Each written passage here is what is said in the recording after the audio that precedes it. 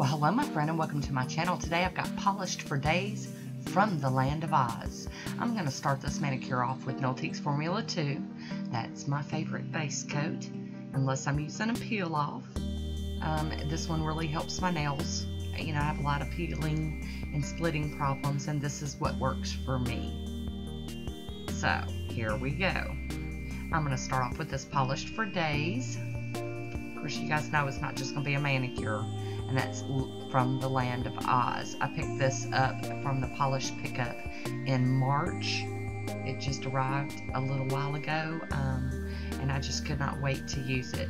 It is just so fairy-like. It is purple, it is blue, it is green, it is crazy pretty. And that is the first coat. And considering how much it's got going on in it, it really does go on well.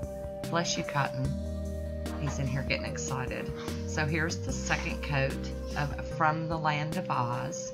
And you can see I've kind of got like a flaky or something sticking off the end there. I will fix that. Here we go. Woody's going to help me. Kind of flip it up and then just kind of tapped it down into the polish.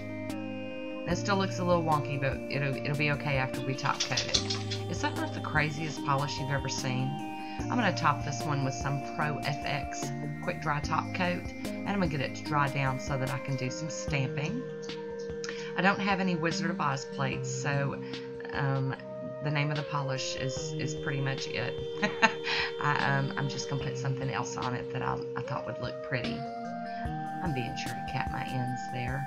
This polish, I'm telling you, it just blows me away.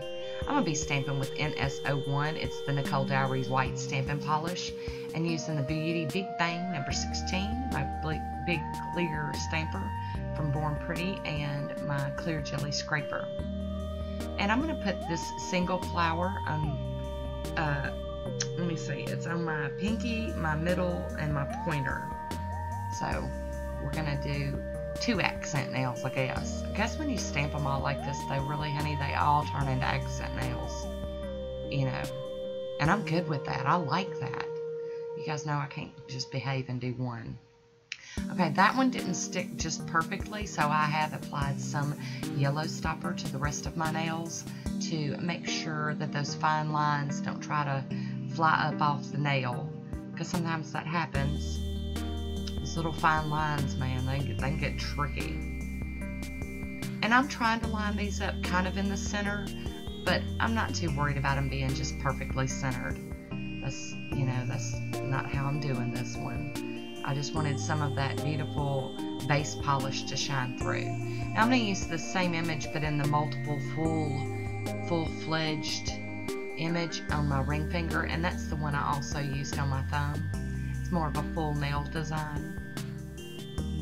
And I am cleaning that stamper off on my, you know, sticky lint roller and cleaning that plate off with pure acetone and a cotton ball using my handy dandy cotton claw. And here we go with our last stamp for this one. Stamping plate will stay still. and I do use a piece of tape to get any excess up, you know, that I don't want stamped on my fingers or on my nails. So if you haven't ever seen me do that before, I'd be totally surprised because I do it all the time. So there we go. We got that last one plopped down. Ta-da! And I am going in with a little piece of tape because I'm a tape junkie also and getting up as much of that excess stamping polish off of my fingers and around my cuticles as I can. It just kind of cuts down on me smearing white polish all over. So I'm going in with my Sonia Kashuk's cleanup brush with some acetone and just tidying this up before I do top coat. And today we'll be top coating the final Mini with Poshe Top Coat. It's my favorite. It's really thick and I'm able to really glide that top coat over the top and not smear my stamping design. So, you know, that's why we do that. And I know you can see that blue-green flash in that polish. It's just wicked cool. So there you go. I hope you enjoyed this, Manny. I would love to hear a comment from you. So leave me a comment down below and let me know what you think about this one. And that is it for today. Thanks for watching. And until next time, be good to yourself. Talk to you soon.